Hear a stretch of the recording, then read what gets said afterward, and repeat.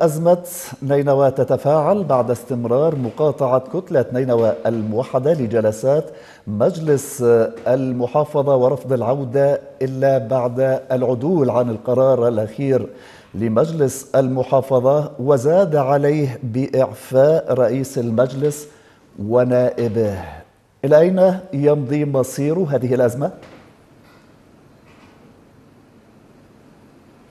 مساء الخير. تحية لكما ولمشاهدين قناة التغيير آه، طبعا كما ذكر مراسلكم الأخ محمود الجماس آه، جلسة يوم 2 7 الرابع عشر لمجلس محافظة نينوى وكان مخصص كما تم تبليغ أعضاء المجلس.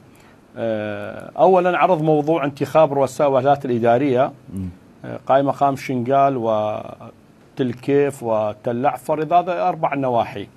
ففي رسالة أخرى إلحاقا بجدول الأعمال إضافة ناحية النمرود. لم تكتب سهوا يعني هذا ما أبلغ به من رئاسة مجلس محافظة نينوى.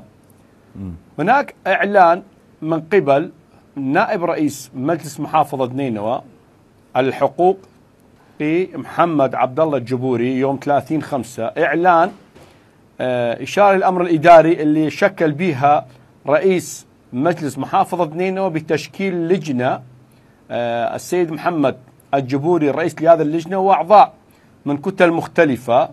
آه، مجرد كانت الأمر الإداري حبرا على ورق لاختيار قضاء قضاء تلكيف شاغر تل عفر ربيعة كنواحي محلبية الشورى بعشيقة.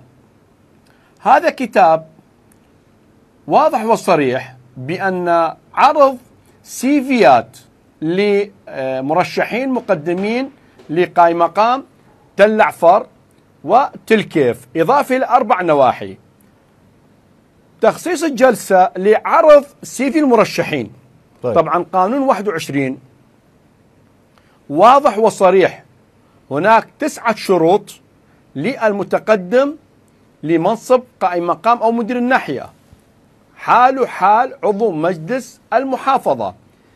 أن يرسل الأسماء إلى هيئة المساءلة وعدالة وزارة التعليم العالي يجب أن يكون خريج آه، بكالوريوس آه، أن يرسل أيضا إلى آه، المحكمة إلى استئناف لغرض معرفة هل لديه سوابق هل الذي محكوم؟